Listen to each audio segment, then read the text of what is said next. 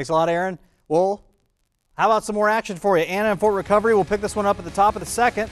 Fort Recovery up 7 0, and Derek Judy getting the handoff and getting a nice run. How about on the next play? Riley Heiser, he gets the handoff, and he's going to run for a first down before he is unpolitely put on the ground.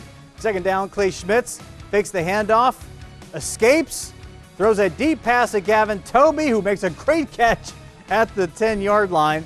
And then down near the goal line, we'll just hand it off to Judy, and he's going to run it in for the touchdown, breaking a couple tackles, puts it in right there. Fort Recovery up 13 to nothing.